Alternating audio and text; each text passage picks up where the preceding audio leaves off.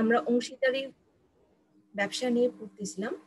তো গত ক্লাসে আমরা অংশীদারি ব্যবসা সম্পর্কে ধারণা কনসেপ্ট বলতে যাব ওয়ালাইকুম সালাম।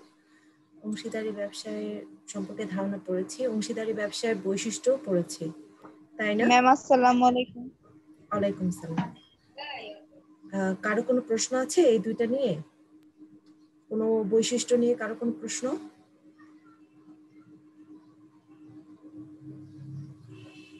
মনে হয় নাই।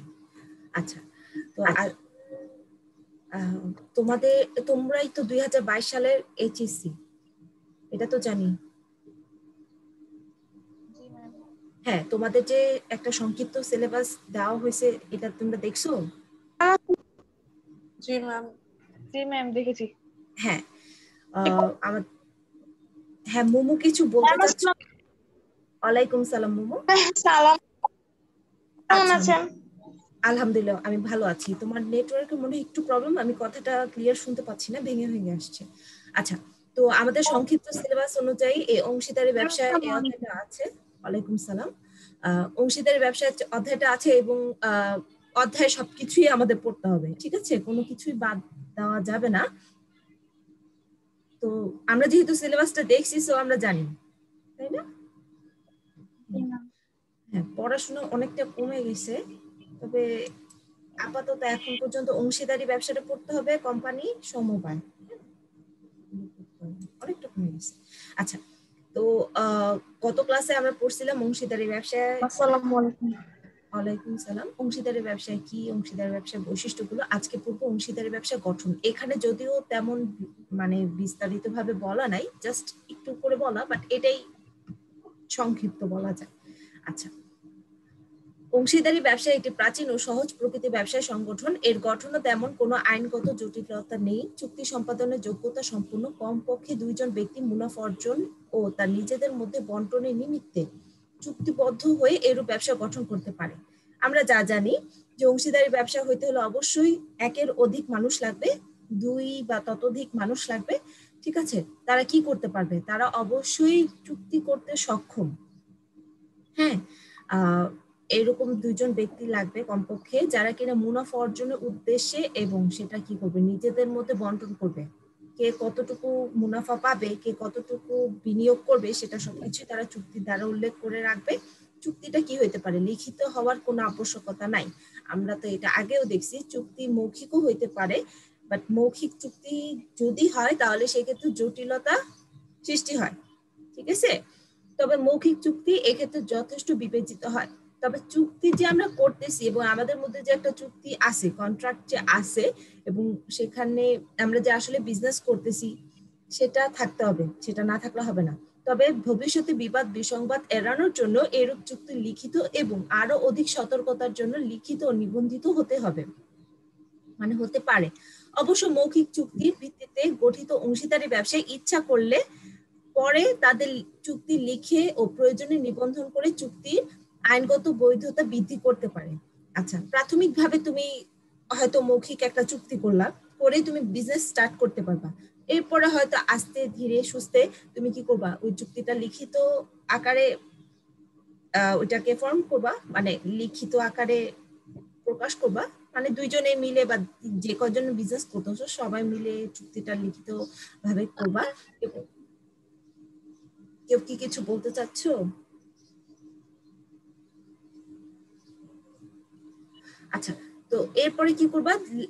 লিখিত হওয়ার পরও এটা একটা দলিল এবং সেটাকে আইনগত বৈধতা বৃদ্ধি করার জন্য নিবন্ধন করা যেতে পারে। তো আমরা কীভাবে করতে পারি দেখো? দেশে আইন অনুযায়ী এরূপ ব্যবসার জন্য ট্রেড লাইসেন্স সংগ্রহ করতে হয়। হ্যাঁ এক মালিকানার ক্ষেত্রে আমরা দেখছি যে ট্রেড লাইসেন্স আমাদের সংগ্রহ করতে হবে। বাংলাদেশে পৌরসভা ও সিটি কর্পোরেশনের অধীনে এরূপ ব্যবসা পরিচালনা করতে চাইলে ট্রেড লাইসেন্স গ্রহণ আবশ্যক।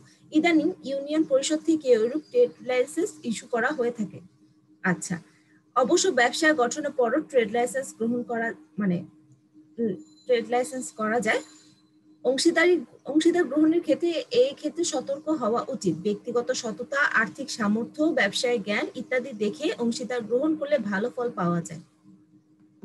আমরা তো দেখছি যে কোনো মতে চুক্তি যদি ভে- ভঙ্গ হয় বা কোনো অংশীদার যদি ব্যবসা করার ক্ষেত্রে আগ্রহ হারিয়ে ফেলে বা সে হয়তো তার কোনো ব্যক্তিগত সমস্যার জন্য ব্যবসা হয়তো কোনো মতে প্রভাবিত হয়, সেই ক্ষেত্রে যদি ক্ষতিকর হয়, সেই ক্ষেত্রে তোমাদের ব্যবসাটা বিলোপ সাধন হয়ে যাবে। সো তুমি কাদেরকে নিয়ে অংশীদারি ব্যবসাটা শুরু করতেছো, কাদেরকে অংশীদার হিসেবে গ্রহণ করতেছো, সেই ক্ষেত্রে অবশ্যই সতর্ক হইতে হবে। মানে মানুষটা কতটা সৎ, তার আর্থিক সামর্থ্য কেমন ব্যবসার সম্পর্কে জানে কিনা, ব্যবসা করতে পারবে কিনা, দায় দায়িত্ব নিতে পারবে কিনা এইসব কিছু দেখেই তাকে অংশীদার করা উচিত। তবে এই ব্যবসার উদ্দেশ্য অবশ্যই বৈধ হওয়া আবশ্যক।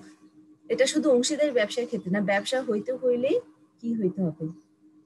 বৈধ, আইনগতভাবে বৈধ কার্যক্রম হইতে হবে। তুমি অনৈতিক বা অবৈধ কোনো কাজ ব্যবসা হিসেবে গ্রহণ করতে পারবে না তাহলে সেটা ব্যবসায়ী হবে না তাই না? আমরা প্রথম অধ্যায় পড়ে আসছি। আচ্ছা এরপর আজকে আমরা দেখব অংশীদারি ব্যবসায় সংগঠন সরি অংশীদারি সংগঠন বা ব্যবসায় সুবিধা।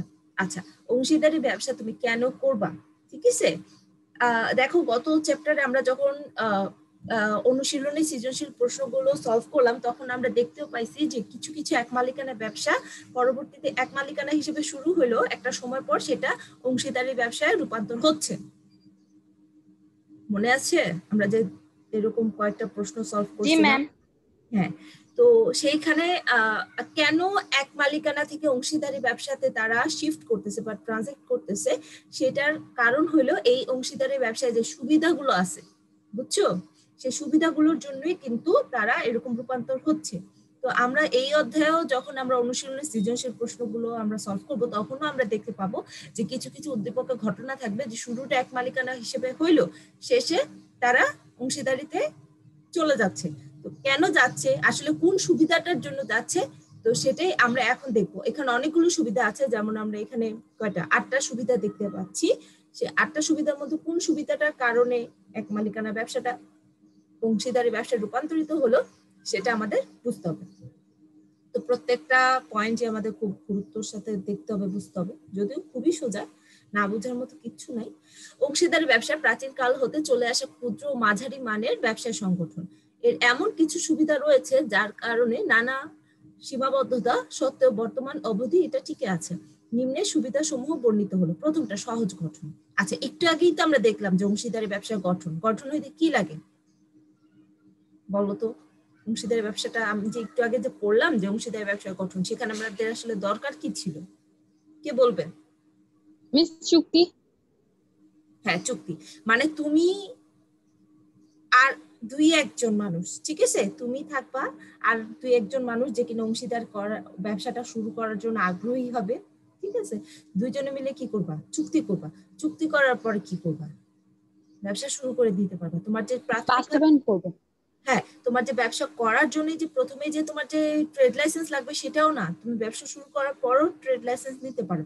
আর যে চুক্তিটা করতেছো সেটা মৌখিক হইলেও চলবে।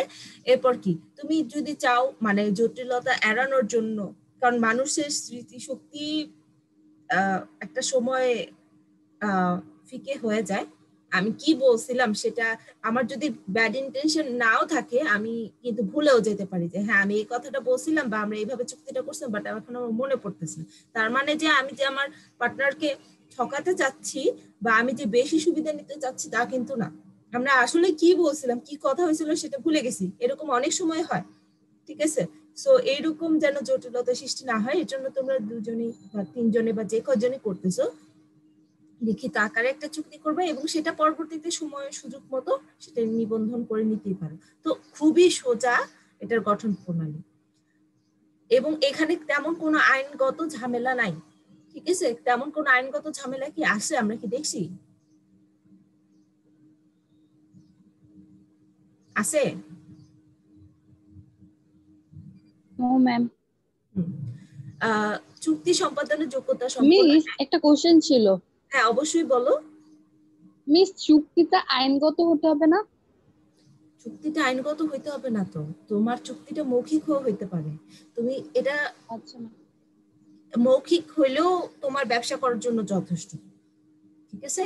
কারণ আগে এখন থেকে পঞ্চাশ বছর আগে একশো বছর আগে কিন্তু অংশীদারি ব্যবসাগুলো হয়েছে সেগুলো কারা করছে? আমাদের নানারা বা দাদারা বা তাদের বাবা যারা হ্যাঁ? তারা, তাদের মতো মানুষও করছে। তো তারা কি লিখতে পড়তে পারতো?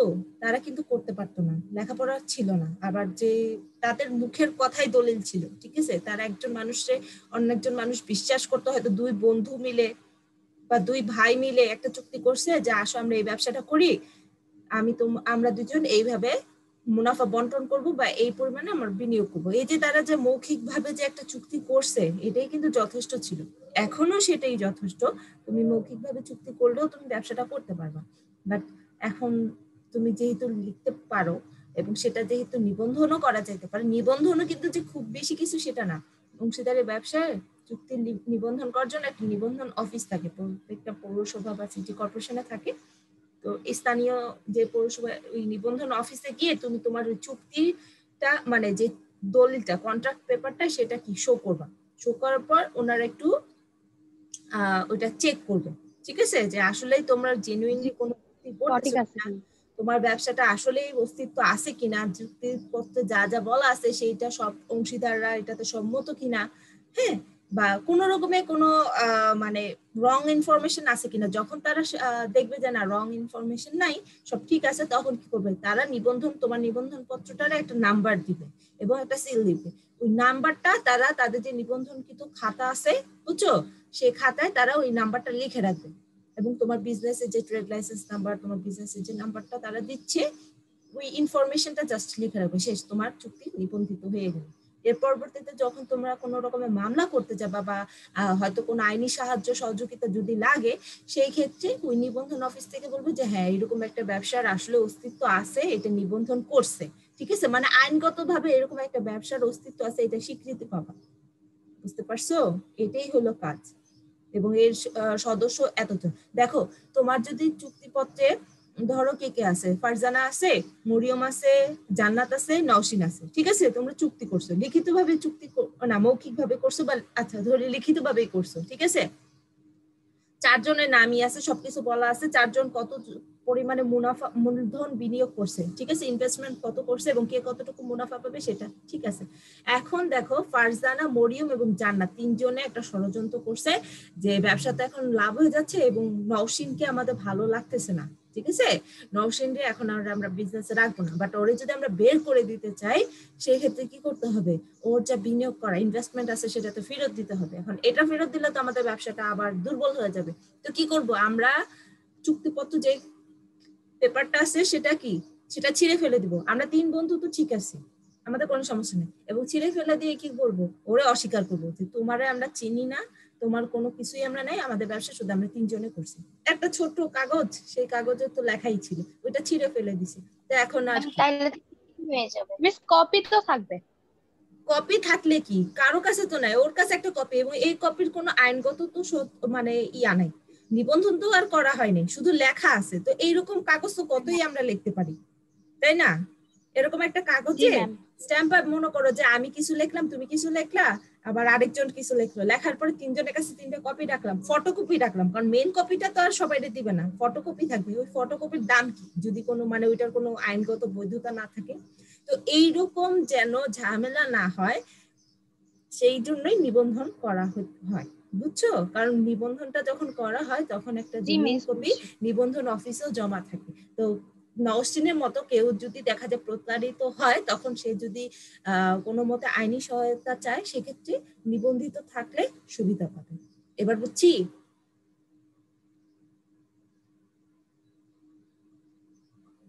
জি ম্যাম কোনো প্রশ্ন আছে? মনে হয় না। আচ্ছা অনেক কথা বলে ফেলছি ছোট্ট একটা পয়েন্ট করতে গিয়ে। তবে বাংলাদেশের সরকারি নিয়ম অনুসারে এইরূপ ব্যবসা পরিচালনার জন্য ইউনিয়ন পরিষদ পৌরসভা বা সিটি কর্পোরেশন থেকে ট্রেড লাইসেন্স সংগ্রহ করতে হয়। দেখো এই লাইনটা কিন্তু তোমরা একটু দাগায় রাখতে পারো। এই যে ট্রেড লাইসেন্সটা কোথা থেকে সংগ্রহ করবে? ব্যবসা পরিচালনার জন্য ইউনিয়ন পরিষদ থেকে মানে পৌরসভা বা সিটি কর্পোরেশনের না মানে অধীনে না যে স্থানে তুমি ব্যবসাটা করতে চাচ্ছ সেটা হলো সিটি কর্পোরেশন না পৌরসভার অধীনেও কোনো এলাকা না। তো সেখানে কি করতে হবে? তোমার যে ইউনিয়ন পরিষদ আছে, সেখান থেকেও তুমি ট্রেড লাইসেন্সটা সংগ্রহ করতে পারো। তার মানে এই তিনটা জায়গা থেকে ট্রেড লাইসেন্স সংগ্রহ করা যায়। এটা আমরা জেনে রাখলাম। যখন আমরা নিজেরা বিজনেস করব, তখন আমরা এখান থেকে সংগ্রহ করব। ঠিক আছে? এরপর অধিক মূলধন। হ্যাঁ এইটা হলো অংশীদারি ব্যবসার খুব গুরুত্বপূর্ণ একটা সুবিধা। এক মালিকানা ব্যবসায় ক্ষেত্রে কি ছিল? একজন মানুষ সে যতটুকু অর্থ নিজে ম্যানেজ করে নিয়ে আসতে পারতো, ঠিক আছে? সংগ্রহ করে নিয়ে আসতে পারতো, সেটাই তার ব্যবসার একমাত্র মূলধন ছিল। বাট এইখানে কি? তুমি একাধিক মানুষকে পাচ্ছ। এবং এমনও হইতে পারে, তোমার ব্যবসাটা হয়তো তোমরা তিনজন নিয়ে শুরু করছ বাট পরবর্তীতে ইনভেস্ট করা লাগবে বেশি বেশি টাকা দরকার। সেই ক্ষেত্রেও তোমরা চাইলে আরও অনেক টাকা পয়সাওয়ালা দুই তিনজন মানুষে তোমরা চাইলে পরবর্তীতে অংশীদার হিসেবে নিতে পারবে তো এটা একটা সুবিধা। তো এই ব্যবসাটা এই সুবিধার জন্য বেশিরভাগ ক্ষেত্রে এক মালিকানা থেকে অংশীদারি থেকে রূপান্তরিত হয়। এই ব্যবসায় একাধিক সদস্য থাকার ফলে এবং প্রয়োজনে সকলের সম্মতিক্রমে মূলধন বৃদ্ধির সুযোগ থাকায় এই ক্ষেত্রে অধিক মূলধন জোগাড় সহজ হয় ও প্রয়োজনে ব্যবসা সম্প্রসারণ করা যায়। বুঝতে পারছি? মানে সকলে যদি সম্মতি দেয়, যারা আছে সদস্য, তারা যদি সবাই বলে যে হ্যাঁ আমরা মূলধন বৃদ্ধি করব সেটা যদি সুযোগ থাকে মানে এমন কোন যদি ক্ষেত্র তোমরা দেখতে পাও যে এইখান থেকে আমরা অর্থ জোগাড় করতে পারব এবং সেটা থেকে অর্থ জোগাড় করার ক্ষেত্রে সবাই যদি সম্মত হয়, সেটা তুমি খুব সহজে করতে পারবা। আর একাধিক মানুষ যখন মানে তোমার ব্যবসার সাথে জড়িত থাকবে, তাদের এক একটা সোর্স থাকে। তোমার বন্ধু বান্ধব হয়তো পাঁচ ছয় জন। ঠিক আছে? তুমি সর্বোচ্চ হয়তো এদের থেকে টাকা সংগ্রহ করতে পারবে বাট অন্য অংশীদারের তো একটা ফ্যামিলি আছে, হয়তো তারও কিছু পৈতৃক সম্পত্তি আছে বন্ধু বান্ধব আছে, বা সেও হয়তো ব্যাংক থেকে ঋণ নিতে পারে, ঠিক আছে? তো এই সুবিধাগুলোর জন্য তারা কি প্রয়োজনে ব্যবসায় সম্প্রসারণ করতে পারে মানে অধিক মূলধন বিনিয়োগ করতে পারে। এক মালিকানা ব্যবসায়ের অনেক সুবিধা থাকার পরও এক মালিকের মূলধন প্রদানের সামর্থ্যের সীমাবদ্ধতার কারণে মূলত এরূপ ব্যবসার উৎপত্তি। আচ্ছা। দলবদ্ধ প্রচেষ্টা জয়েন্ট এফোর্টস আচ্ছা। এই ক্ষেত্রে দেখো, তোমার একার যোগ্যতা যতটুকুই থাকুক, তুমি হয়তো তোমার হয়তো অনেক টাকা পয়সা আছে বিজনেস করার ইচ্ছাও আছে, টাকা পয়সা আছে বাট বিজনেস কীভাবে করতে হবে? যে যোগ্যতাটা লাগবে, ঠিক আছে? যেমন তোমার বিক্রি করার ধৈর্য ধরে মানে কাস্টমারদের সাথে ডিল করা বিজনেসে যে এত কঠিন কাজগুলো, এত পরিশ্রম সাধ্য কাজগুলো, এগুলো করার মতো তোমার তুমি আসলে বুঝো না বা বুঝলেও হয়তো, করার মতো ধৈর্যটাও তোমার নাই। ঠিক আছে? সেই ক্ষেত্রে কিন্তু তুমি এক মালিকানা একটা ব্যবসা করলে খুব একটা সুবিধা করতে পারবা না। তাই না? বাট তুমি হয়তো এরকম দু একজন সদস্য নিলা মানে আছে তোমার বিজনেসে যারা কিনা এই পরিশ্রম সাধ্য কাজগুলো করতে পারে। খুব ধৈর্য নিয়ে করতে পারে বা হয়তো কমিউনিকেটিভ স্কিল খুব ভালো। খুব ভালো নেগোসিয়েট করতে পারে, ভালো সেলস করতে পারে। তো এইরকম মানুষগুলো যখন থাকে তখন তোমার যে যোগ্যতা মানে তোমার যে ক্যাপাবিলিটিসগুলো আছে, সেগুলো যেমন তুমি অ্যাপ্লাই করতেছো, সেটা যেমন বিজনেসে একটা সাইডকে খুব স্ট্রং করতেছে, একই সাথে তোমার অন্য অংশীদাররা বা সদস্যরা যে যোগ্যতাগুলো আছে, তারাও যদি তাদের সেই সাইডগুলো মানে স্কিলগুলো ইউজ করতে পারে, তাহলে কিন্তু তোমার বিজনেসটা অনেক বেশি পাওয়ারফুল হয়ে যাবে। যেটা এক মালিকানা ব্যবসার ক্ষেত্রে বেশিরভাগ সময় সম্ভব হয় না। হ্যাঁ? আর হয়তো এক মালিকানা ব্যবসার ক্ষেত্রে হয়তো তুমি হয়তো দু একজন কর্মচারী নিয়োগ করে হয়তো তাদের যোগ্যতা বা তাদের যে দক্ষতা আছে সেটা ব্যবহার করতে পারবা বাট তারা কিন্তু আলটিমেটলি কর্মচারী। তাদের মাথায় একটা জিনিস সবসময় থাকবে যে আমি আমার জীবনটা দিয়ে সবকিছু করে ফেলল, মাস শেষে আমি কিন্তু ওই সেম অ্যামাউন্ট টাকাটাই পাবো। আমি যদি কোন রকম করে মানে হ্যাঁ চলছে মানে ঠিক আছে, চলতেছে, কোনো মতো চলতেছে। নিজের ন্যূনতম এফোর্টটা দিলেও যেমন আমি যে পরিমাণে বেতন পাবো, আর বিজনেস যদি খুব ফ্লোরিশ করে, তাহলে সেই পরিমাণে বেতন পাবো। আমার কিন্তু তেমন এক্সট্রা কোনো লাভ হচ্ছে না। চাকরির ক্ষেত্রে ব্যাপারটা এরকম বাট যখন তুমি নিজে ব্যবসাটা, নিজের ব্যবসা করবা, সেই ক্ষেত্রে তুমি যদি দেখো যে তোমার ব্যবসাটা ভালো চলতেছে, সেক্ষেত্রে কিন্তু তোমার একটা মুনাফা আসবে। এবং এটাই কিন্তু পুরস্কার। তোমার ঝুঁকির পুরস্কার হলো ওইটাই। তো এই ক্ষেত্রে কি সদস্যরা কি মানে নিজের সর্বোচ্চটা ব্যবহার করবে না, দেওয়ার চেষ্টা করবে না? এটাই হলো অংশীদারি ব্যবসায় সুবিধা। আচ্ছা এই ক্ষেত্রে সদস্য সংখ্যা একাধিক হওয়ায় দলবদ্ধ প্রচেষ্টার সুবিধা অর্জন করা যায়। সকল অংশীদারের স্বার্থ এক ও অভিন্ন হওয়ার কারণে সকলে দলবদ্ধভাবে ব্যবসায় সফলতার জন্য কাজ করে আছে এই যে দেখো, সবার স্বার্থ কিন্তু এক, সবাই চাচ্ছে তাদের বিজনেসটা ভালো হোক এবং ভালো মতে সেটা কি?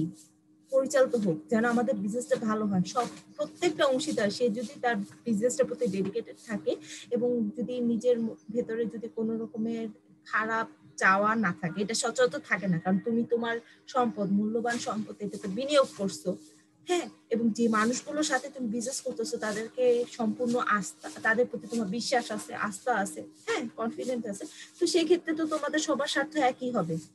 সবাই চাইবে বিজনেসটা ভালো হোক হ্যাঁ। তো এটা হওয়ার কারণে কিন্তু সবাই কিন্তু যার যার দিক থেকে তার সর্বোচ্চটা দিয়ে ব্যবসাটা ভালো করার চেষ্টা করে এবং ব্যবসাটা সফল হওয়ার সম্ভাবনা অনেক বেশি বেড়ে যায়। বিভিন্ন যোগ্যতার সমন্বয় ঘটিয়ে এই যে একটু আগে আমি যেটা বললাম সমন্বয় ঘটিয়ে ও দায়িত্ব ভাগ করে নেওয়ার সুযোগে এই ক্ষেত্রে অনেক সময় ব্যবসার উন্নয়ন সহজ হয় যেটা কিনা এক মালিকানা ব্যবসার ক্ষেত্রে হয় না। আরও কোনো প্রশ্ন আছে? মেয়েরা কারও কিছু প্রশ্ন থাকলে বলার থাকলে বলতে পারো। কারণ আমি শুধু একা কথা বলে যাচ্ছি তোমাদের কিছু বলার নাই তোমরা সবাই চুপ করে আছো এর জন্যই জিজ্ঞেস করলাম। আচ্ছা এরপর হলো সম্মিলিত সিদ্ধান্ত। আচ্ছা আহ একটা জিনিস আমরা খেয়াল করি যখন আমি কোনো বিষয়ে একা একা চুপচাপ নিজে যা বুঝতেছি নিজের যা মনে হচ্ছে সেটা সম্পর্কে সিদ্ধান্ত নেই সেটা কি সবসময় ঠিক সিদ্ধান্ত হয়? নাকি আমি যাদের হতে পারে। হ্যাঁ না না, সেটা ভুল হবে যে সেটা না। এক, অনেক সময় দেখা যায় যে একা একা সবাই হয়তো বলতেছে যে না, আমার কাছে এটা ঠিক মনে হচ্ছে না। বাট আমার নিজের কাছে একটা ইম্পালস আসতেছে। মানে নিজের ভেতরে মনে হচ্ছে যে আমি যেই সিদ্ধান্তটা নিছি বা আমার যা মনে হচ্ছে এটাই ঠিক। হয়তো সেটাই আমি হয়তো ফলো করার পর পরবর্তীতে দেখা গেলো যে হ্যাঁ আমি ঠিক, অন্যরা এটা ঠিক বুঝে নাই।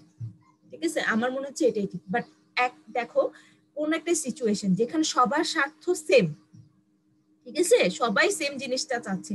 তো সেই ক্ষেত্রে সবাই মিলে যদি সিদ্ধান্তটা নাও সেটা কি ভুল হওয়ার সম্ভাবনাটা কম থাকে না? বা ক্ষতি হওয়ার সম্ভাবনাটা কম থাকে না? বা কোনটা সবচেয়ে ভালো থাকবে?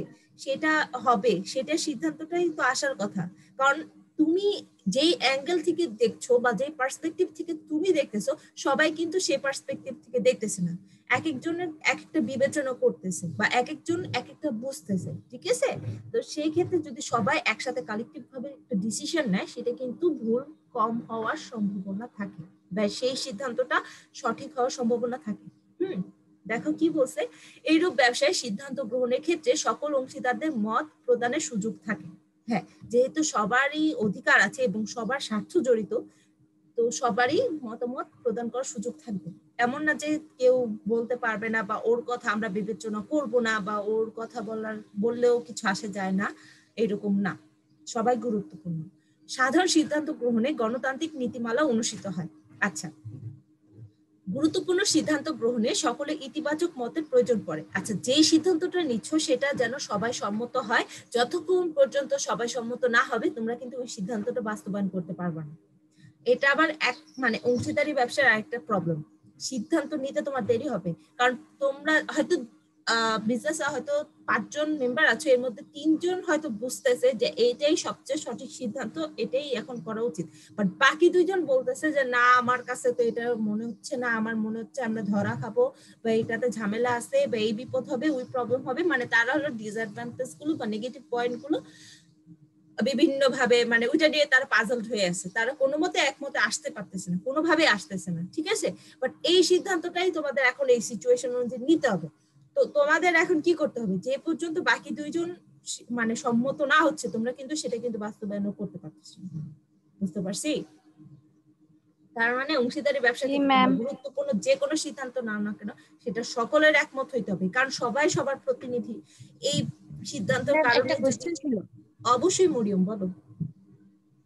ম্যাম আপনি যেটা বললেন যে ধরেন যদি পাঁচজন থাকে এবং তিনজন কোন একটা বিষয়ে এগ্রি করে বাট বাকি দুজন করছে না কিন্তু ম্যাম নর্মালি অংশীদারি বিজনেস হতো যে কেউ একজন মানে বাকি যে মেম্বারসরা থাকে তাদের মানে হেড থাকে যাকে সবাই মিলে চুজ করে যে হ্যাঁ তার নীতিমালাতে বা তার নির্দেশনায় আমরা বিজনেসটা করব। তো ম্যাম এই ক্ষেত্রে তো অধিকাংশের মতটা বেছে নেওয়া হয় না। আচ্ছা এখানে দেখো বলছে গণতান্ত্রিক নীতিমালা অনুষ্ঠিত হয়। গণতান্ত্রিক নীতিমালা বলতে আসলে আমরা কি বুঝি? যে এটা বেশি ভোট আসবে সবার। হ্যাঁ সবাই ভোট দিতে পারবে এবং যেটা বেশি হবে যেটা বেশি হবে মানে ভোট যেটার প্রতি বেশি যাবে সেটাই গ্রহণ হবে তাই তো? এখন ম্যাম আপনি যে বললেন যে তিনজন মানে এগ্রি করছে বাট বাকি দুজন করছে না তো তাদের জন্য ওয়েট করতে হবে। কিন্তু ম্যাম এখন ধরেন আমি আপনি ফারজানা সোহাগী জান্নাত আমরা চারজন আছি ম্যাম এখন আমি জান্নাত আর আপনি এগ্রি করলাম বাট ফারজানা আর সোহাগী এগ্রি করছে না।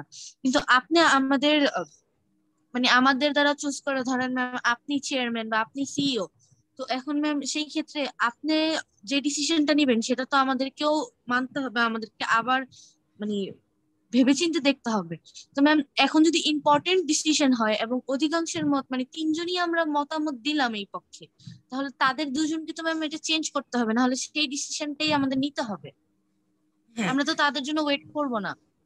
আচ্ছা দেখো, এইখানে যদি ব্যাপারটা এমন হয় যে আমরা তিনজন একমত হয়ে গেলাম এবং সবার সম্মত মতে যে বলা আছে যে হ্যাঁ মানে ম্যাডাম, আমি, মহসিনা হলো যে সিদ্ধান্তটা নিবে বা ও যদি মনে করে যে এটাই ঠিক আছে, তো সেক্ষেত্রে আমরা এটা ফলো করব, ঠিক আছে? এবং এটার প্রতি বাকি দুই সদস্য এগ্রি করতেছে। তো আমাদের চুক্তি মতে যদি এরকম থাকে যে হ্যাঁ মহসিনা যেই সিদ্ধান্তটা নিবে হ্যাঁ সেটা আমরা এগ্রি করব। এবং এটা অনুযায়ী তোমরা দুইজনও এগ্রি করলা। মরিয়ম এবং ফারজানা এগ্রি করল বাট সোহাগী আর জান্নাত করল না। ঠিক আছে? এটা যদি আমাদের চুক্তিতে বলা থাকে যে হ্যাঁ সে যদি এইরকম সিদ্ধান্ত নিতে পারবে, গুরুত্বপূর্ণ সিদ্ধান্ত, সে যদি চায় একা নিতে পারবে, তো, এবং যদি তার পক্ষে ভোট বেশি হয়, তো সে এটা নিতে পারবে। সেই ক্ষেত্রে নেওয়া যাবে। বাট দেখো, আমি যে সিদ্ধান্তটা নিলাম এবং সেটার সাথে মরিয়ম এবং ফারজানা হুম। তিনজনে যেটা নিলাম সেটাতে কোনো বিপদ হলো বা কোনো একটা প্রবলেম হলো রিস্কি একটা ডিসিশন ছিল সেটাতে সেটা নেওয়ার কারণে আমরা ক্ষতিগ্রস্ত হইলাম তখন কি হবে? তখন বাকি দুজন তো বলবে যে আমরা তো এটাতে অ্যাগ্রি করি নাই তো এখন এটার দায় আমরা নিব না কি হবে? বলো তো মরিয়ম তখন সিচুয়েশনটা কি করবা? ম্যাম যেহেতু সেটা আমাদের চুক্তিপত্রে আগে থেকে লিখা আছে, তো তারা ম্যাম এটাকে তো ডিসএগ্রি করতে পারে না।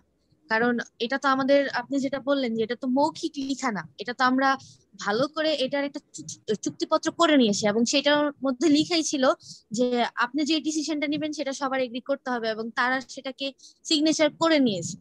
তারপরেই তো ম্যাম সাইন করেছে, তো এখন তো তাদের বললে এটা হবে না। তাহলে ম্যাম আইনের আশ্রয় নিব।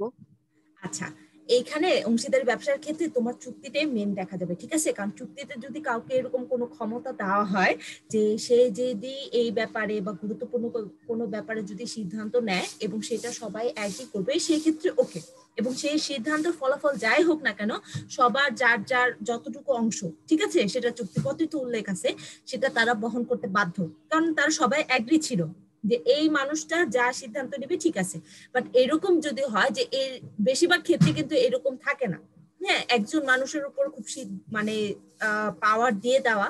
কারণ এরকম পাওয়ার দিয়ে দিলে অনেক জটিলতা সৃষ্টি হয়ে যায়। সাধারণত থাকে না। বাট যখনই সিদ্ধান্ত, গুরুত্বপূর্ণ সিদ্ধান্ত না হয়, সেই ক্ষেত্রে এইটা অ্যাসিউর করতে হবে যেন প্রত্যেকটা সদস্যই সেটাতে অ্যাগ্রি করে। হয়তো তোমার সিদ্ধান্তটাকে মডিফাই করতে হবে। কারণ আমি যে সিদ্ধান্তটা নিলাম, সেটা তুমি মানে মরিয়ম এবং ফারজানা অ্যাগ্রি করলাম। বাট কোনো মতেই সোহাগী এবং জান্নাত অ্যাগ্রি করতেছে না। সেই ক্ষেত্রে আমাদের সিদ্ধান্তটা এইভাবেই মডিফাই করতে হবে যে যে পর্যন্ত মানে এমন একটা পর্যায়ে নিয়ে যেতে হবে বা এরকম কিছু অ্যাডজাস্টমেন্ট আনতে হবে যেন ফারজানা এবং সোহাগি সেটা অ্যাগ্রি করে। কারণ অ্যাগ্রি না করলে ভিতরে জটিলতা সৃষ্টি হয়ে যাবে। কারণ তখন ফারজানা এবং সোহাগীর মনে হবে যে বিজনেসের ক্ষেত্রে আমরা, আমাদের মতামত বা আমরা যেটা ভালো বুঝতেছি সেটা আমাদেরটা কি করতেছে না? তারা দাম দিচ্ছে না ঠিক আছে? আমাদের মতামতের গুরুত্ব পাচ্ছে না। মানে তারা নিজেরা নিজেরা করতেছে। তো এই ক্ষেত্রে যে এই যে জটিলতা সৃষ্টি হয়ে গেল আস্তে আস্তে কিন্তু এটা বড় ধরো ঝগড়া হয়ে যাবে। ঝগড়া হয়ে যাবে বা বলবে এক সময় জান্নাত বলবে আমি আর বিজনেস করব না। আমার বিনিয়োগের টাকা দিয়ে দাও। ঠিক আছে? তো এইরকম। এমন হয়। এখন ম্যাম ধরেন এমন হয় যে হ্যাঁ আমরা আমাদের কারও ইন্ডিভিজুয়াল কোনো পাওয়ার দেওয়া নেই। এখন আমরা পাঁচজন মিলেই মানে করব। তো এখন ম্যাম ধরেন আমরা তিনজন এগ্রি করলাম ওরা দুজন করল না। তো এখন আমরা ওদের জন্য ওয়েট করলাম যে হ্যাঁ ওরা এগ্রি করবে তারপর আমরা করব। কিন্তু সেই সুযোগে আমাদের মানে যে কাজটা যেভাবে করার কথা ছিল যে ডিসিশনটা যেভাবে নেওয়ার কথা ছিল সেটা ম্যাম আমরা নিতে পারলাম না। টাইমটা শেষ হয়ে গেল এবং ম্যাম ওদের কারণে আমাদের লস বিয়ার করতে হলো। তো সেই কারণে কি ম্যাম সেটার দায় ওরা নিবে না? না, সেটা ওরা নিবে না। কারণ এইখানে তোমরা যে সিদ্ধান্তটা নিবা, সেটা সবাই সম্মত হইতে হবে, ঠিক আছে? এবং সবারই পজিটিভ থাকতে হবে। সেটা না থাকলে তোমরা সিদ্ধান্তটা নিতে পারবে না। দেখো, এই যে এইটাই হলো অংশীদার ব্যবসা অসুবিধা। দেখতে পাচ্ছি? দ্বিতীয় সমস্যাটা হলো সিদ্ধান্ত গ্রহণে বিলম্ব। বুঝতে পারছ? যদি মানে বেশিরভাগ সদস্য যদি মনে করে এই সিদ্ধান্তটাই সঠিক হবে, এটা নিলেই আমরা সুবিধা পাবো বা এটা নিলে আমাদের এখন বর্তমানে মানে এই সিচুয়েশন অনুযায়ী এটাই সবচেয়ে ভালো ডিসিশন যদি আমরা মনে করি যে এটাই সবচেয়ে ভালো কাজ করার জিনিস, সেটা আমাদের যারা ডিসএগ্রি করতেছে তাদেরকে বুঝাইতে হবে। যেভাবে হোক লজিক দিয়ে হোক, তারা যেন বুঝতে পারে, তাদেরকে বুঝাইতে হবে। যদি আমরা বুঝাইতে না পারি তো সেই ক্ষেত্রে আমরা এই সিদ্ধান্তটা নিতে পারব না। এটাই তো অংশীদারের ব্যবসা অনেক বড় একটা অসুবিধা বুঝছ? আর বেশিরভাগ সময় কিন্তু এই বিজনেসগুলো মানে ডিজলভ হয়ে যায় এর জন্যই বুঝছ? এই প্রবলেমটার জন্যই কিন্তু হ্যাঁ। অংশীদার ব্যবসাগুলো ধরা খাওয়া যায়। এই যে দলবদ্ধ প্রচেষ্টা হ্যাঁ? সরি কোনটা ছিল? ওই যে সম্মিলিত সিদ্ধান্ত মানে যখনই যা সিদ্ধান্ত না হোক না কেন, সেটা সম্মিলিত ভাবেই নিতে হবে। কারণ তুমি যদি কোনো অংশীদারের মতামত না নাও মানে তোমার যদি মনে হয় যে, এই যে আমরা পাঁচজন বিজনেস করতেছিলাম, মরিয়ম, মহসিনা, ফারজানা, জান্নাত, সোহাগি, ঠিক আছে? তো এখন যদি মনে করো যে আমরা যদি মনে করি যে, আহ, সোহাগী সবসময় ঝামেলা করে, ঠিক আছে? আমরা যখনই কোনো সিদ্ধান্ত নিতে যাই, সোহাগীর একমাত্র ইন্টেনশন হলো ঝগড়া করবে। আগে একজন ঝগড়া করবে, তারপর হলো কোনো একটা সিদ্ধান্ত দেবে। তো আমরা চিন্তা করি যে না ও সবসময় ঝগড়া করে পরিবেশ নষ্ট করে ফেলে। তো আমরা যখন সিদ্ধান্ত নিব চারজনে নিয়ে নিব সোহাগীরা আমরা জানাব না যে আমরা এরকম কিছু একটা করে ফেলছি। কতটা হাস্যকর আমার খুব হাসি আসতেছে বুঝছ? আচ্ছা সরি হ্যাঁ। আমারও। আচ্ছা সোহাগী কষ্টকর কিচ্ছু নেই হ্যাঁ? জাস্ট এটা একটা উদাহরণ আমরা এরকম কিছু করব না। জি ম্যাম আচ্ছা আমি কষ্ট আচ্ছা তো এরকম কিছু যদি আমরা করে ফেলি যে একজন সবাই, বাকি চারজন আছে, চারজনই তো মতামত দিয়ে দিছি যে সোহাগের আসলে ইনক্লুড করা যাবে না। ডিসিশন প্যানেলে ওরে রাখাই যাবে না, ঠিক আছে? ওরে দেওয়া হলে অন্য কাজ করাইতে হবে। তো এইরকম করলেও আমাদের এই ব্যবসাটা থাকবে না। মানে ব্যবসায় আমরা কোনো মানে ওর যে অধিকারটা আছে সেটা আমরা ফুলফিল করতেছি না এবং এর জন্য ও যদি চায়, তো এই ব্যবসাটা বিলোপ সাধনের জন্য আবেদন করতে পারে আদালতে যে আমার কোনো মতামত নেওয়া হচ্ছে না। ব্যবসার ক্ষেত্রে আমি কোনো মতামত দিতে পারছি না। ঠিক আছে এখানে একজন এই যে মানে আমি ঝগড়া করতেছি আমার এগেনস্টে ওরা কোনো স্টেপ নিতে পারবেন না। এখন স্টেপ নেওয়ার ব্যাপারটা হলো যে তোমার যদি মনে হয় যে না তোমার কিছু ব্যক্তিগত কারণ মানে এটা তো একটা পার্সোনাল ট্রেড ব্যক্তিগত বৈশিষ্ট্য যে তুমি সাধারণভাবে কমিউনিকেট করতে পারো না যখনই কিছু মানে কারোর সাথে সিদ্ধান্ত নেওয়ার ব্যাপারে সবসময় ঝগড়া করে ফেলে। তো সেক্ষেত্রে বাকি চারজনের কি করতে হবে? সম্মত হয়ে হয়তো তোমাকে ব্যবসা থেকে মানে বের করে দিতে হবে। ঠিক আছে? তোমার যা টাকা পয়সা আছে বিনিয়োগ আছে সেটা তোমার দিয়ে দিয়ে তারা মানে আলাদাভাবে ব্যবসা করবে। মিস আমরা তোকে বুঝাইলেই হয়। বাবা সেটা এখন ও যদি বুঝালে না বুঝে সেক্ষেত্রে তুমি তো কোম্পানি লস করতে পারবা না। হ্যাঁ সব ঠিক। মানে সবচেয়ে বড় কথা হলো তোমার সবার আগে দেখতে পাবো তোমার ব্যবসায়িক স্বার্থ এবং ব্যবসার স্বার্থের সাথে প্রত্যেকটা অংশীদারের স্বার্থ সম্মিলিত ঠিক আছে? সবার স্বার্থ এক। তো ব্যবসার দেখো কোনো এটা তো খুব সিলি একটা ব্যাপার ছিল এই হাস্যকর একটা ব্যাপার ছিল এর জন্যই আমি এটা বলছি। এটা সলভ করা যাবে ঠিক আছে? বাট কিছু কিছু প্রবলেম আছে যে একজন অংশীদার হয়তো ব্যবসায় যে পণ্য বা ব্যবসায় যে সম্পদ সেটা তো মনে করে, আমরা নিজেরা টাকা দিয়ে তো কিনতেছি, এটা তো আমাদের সম্পদ। তো সে এটা তো তার ব্যক্তিগত প্রয়োজনে হয়তো ব্যবহার করতেছে। এবং সে আমাদের বন্ধু হ্যাঁ? তো এর জন্য কি করতেছো? তুমি তারে না বলতে পারতেছো, তোমার কিন্তু ব্যবসায় ক্ষতি হচ্ছে। কারণ কোনো সম্পত্তি কিন্তু তুমি তোমার ব্যক্তিগত প্রয়োজনে ব্যবহার করতে পারবে না, যখন তুমি একসাথে করতেছো। হ্যাঁ সবাই মিলে বিজনেস করতেছো। তো সে এটা ব্যক্তিগত প্রয়োজনে ব্যবহার করতেছে এবং যখনই তাদের, তাকে বলতেছো, সে হয়তো এটাকে মানে অনেকটা সেন্টিমেন্টাল হয়ে যাচ্ছে। ঠিক আছে? যেটা আমি বলি সেন্টি খাওয়া, তো এটা নিয়েও ঝামেলা হচ্ছে। তো এই ক্ষেত্রে কি করতে হবে? না তুমি তারে রাখতে পারতেছো, না তুমি তারে ফেলতে পারতেছো। তো এই ক্ষেত্রে সবার আগে দেখতে হবে ব্যবসার স্বার্থ। ব্যবসার স্বার্থ দেখার জন্যই তোমাকে তারা বের করে দিতে হবে বুঝছে মানে আলোচনার মাধ্যমে তারা বের করতে। এমন না যে সে নিজেও জানে না যে তারে ব্যবসা থেকে বের করে দেওয়া হলো। হ্যাঁ এরকম না। এরকমটাও করা যাবে না। সম্মিলিত ভাবেই একটা সিদ্ধান্ত যাইতে হবে। এটা আমরা আস্তে আস্তে আরও দেখব। এই অংশীদারি ব্যবসাটা পড়তে অনেক মজা আছে, বুঝছ? অনেক ডিসিশনের ব্যাপার আছে, অনেক চিন্তা ভাবনার ব্যাপার আছে। আচ্ছা তার মানে আহ কোথায় হ্যাঁ ছিলাম করতে অনেক মজা আছে কিন্তু করতে অনেক কষ্ট আছে। না না কোনো কষ্ট নাই। অংশীদারির কষ্ট না কষ্ট হবে কোম্পানি পড়তে। কোম্পানি পড়তে গেলে কষ্ট হবে বাবা। অংশীদারি তো কোনো কষ্ট নাই। আমার অংশীদারি বলিনি ম্যাম বললাম করতে গেলে রিয়েল লাইফে করতে গেলে ম্যাম এই যে ও, আচ্ছা, আচ্ছা, মারামারি আচ্ছা। লেগে যাবে হ্যাঁ হ্যাঁ আসলে অনেক প্যারা আছে। আচ্ছা ফলে এই ক্ষেত্রে একক ব্যক্তি হ্যাঁ আবেগ ও সীমাবদ্ধতা দূর করে সম্মিলিত সিদ্ধান্ত গ্রহণ ও এর বাস্তবায়ন সহজ হয়। ঠিক আছে? মানে তুমি একজন মানুষের যে ইমোশনের ব্যাপার, আমরা কিন্তু বেশিরভাগ সময়, আমরা হয়তো মানুষটা, আমরা মানুষ হিসেবে বলি আমরা খুব রেশনাল বাট আমরা যখন ডিসিশন নেই বা পার্সোনাল মানে ব্যক্তিগত কোনো জীবনে যখন কিছু করতে যাই, তখন কিন্তু আমরা খুব বেশি ইমোশনাল হয়ে যাই। ঠিক আছে? কোনো সিদ্ধান্ত নেওয়ার আগে সবসময় আমাদের এফেক্ট করে ইমোশন যে এটার প্রতি আমার আসলে অনুভব কি, অনুভূতি কি হচ্ছে? ঠিক আছে? কি ভালো লাগা কাজ করতেছে বা খারাপ লাগা কাজ করতেছে, সেটা সবার আগে চলে আসে। মানে কি করলে আসলে সবচেয়ে ভালো হবে বা খারাপ হবে সেটার থেকেও ভালো লাগা, খারাপ লাগা, অনুভূতি, আবেগ, এগুলো সবার আগে চলে আসে। বাট তুমি যখন সম্মিলিত ভাবে সিদ্ধান্ত নিবা, তখন তোমার ব্যক্তিগত আবেগ, অনুভূতি তেমন একটা জায়গা পাবে না যেটা রেশনাল সেটা রেশনাল সিদ্ধান্ত নেওয়া হবে। আর মরিয়ম এই ক্ষেত্রে একটা কথা বলি হ্যাঁ অংশীদারি ব্যবসা তুমি বাস্তবায়ন মানে বাস্তবে যখন তুমি একটা অংশীদারি ব্যবসা করবা সেটা আসলে করতে সত্যি অনেক প্যারা অনেক ঝামেলা অনেক কষ্ট আছে। বাট তুমি যদি এটা ঠিকঠাক মতো করতে পারো এবং ঠিকঠাক মানুষগুলোর সাথে করতে পারো সেক্ষেত্রে কিন্তু তুমি অনেক সুবিধাও পাবা ঠিক আছে? যেমন কষ্ট আছে ঠিক তেমন তুমি যদি করতে পারো সেক্ষেত্রে সেটা তো আপনি যেটা বললেন ঠিক আছে। এখন যেমন যদি দেখেন ম্যাম পাঁচজনের মধ্যে ধরেন আমাদের চারো জনের মত এক রকমের। আমরা যা ডিসিশন নিচ্ছি হ্যাঁ আমাদের ডিসিশন থেকে শুরু করে সবকিছু আমাদের একই ক্যাটাগরির বাট ওই যে একজন ম্যাম প্রবলেম করছে, তো সেই একজনকে কারণ ম্যাম আগে থেকে তার কেউ কাউকে বুঝে নিতে পারে না যে কার নেচার কি টাইপের এখন ধরেন ম্যাম ও ডিউটি ঠিক মতো দিচ্ছে না বা ও কাজ ঠিক মতো করছে না, উপরন্ত মানে অন্য আরও অনেক বিষয় নিয়ে ও প্রবলেম ক্রিয়েট করছে, সেই ক্ষেত্রে তো ম্যাম আবার ওকে নিয়ে ঝামেলা করতে হবে। ফার্স্টে তো ওকে বুঝাতে হবে, বলতে হবে। না হলে ম্যাম আবার ডিসিশন নিয়ে ওকে বেরো করতে হবে। ম্যাম এইটার জন্যই বললাম যে অংশীদারি বিজনেসটা অনেক প্রবলেম ক্রিয়েট করে এইসব ক্ষেত্রে। হ্যাঁ সেটাই। ঝামেলা হলে অনেক ঝামেলা আবার ভালো হলে অনেক ভালো। আচ্ছা ঝুঁকি বন্টন এটাও একটা আমার। ডিয়ার ফ্রেন্ডসরা কোনোদিন প্লিজ আমার সাথে কোনো ব্যবসা বাণিজ্য করতে এসো না। আচ্ছা ঠিক আছে। তার মানে মরিয়ম ঝামেলা করে।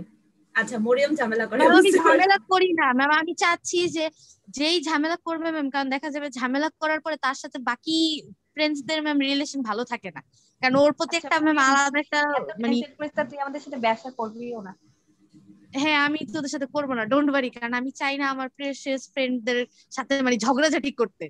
হ্যাঁ কোনো আচ্ছা। বিষয় নিয়ে। আচ্ছা ঠিক আছে। দেখো এই যে তোমরা শুধু সিদ্ধান্ত নিয়ে গিয়ে ঝগড়া চাটিটাই দেখলা বাট এই যে ঝুঁকি যে বন্টন করা যাবে হ্যাঁ রিস্কটা যে তোমরা শেয়ার করতে পারবা সবার রিস্কটা যে শেয়ার হবে সেটা আর দেখল না। হ্যাঁ এখন আমরা সেটা দেখি। চুক্তিতে উল্লেখ লাভ ক্ষতি বন্টনের হার অনুযায়ী অন্যথায় সমান হারে বা মূলধন অনুপাতে ব্যবসায় যে কোনো প্রকার ক্ষতি বা ঝুঁকি অংশীদারদের মধ্যে বন্ডিত হওয়ার কারণে ঝুঁকিপূর্ণ ক্ষেত্রেও বিনিয়োগ করা সহজ হয়। আচ্ছা তুমি যদি দেখো একা ব্যবসা করতেছো হ্যাঁ কিছু বলেছ? ধরে নিলাম কেউ কিছু বলো নাই।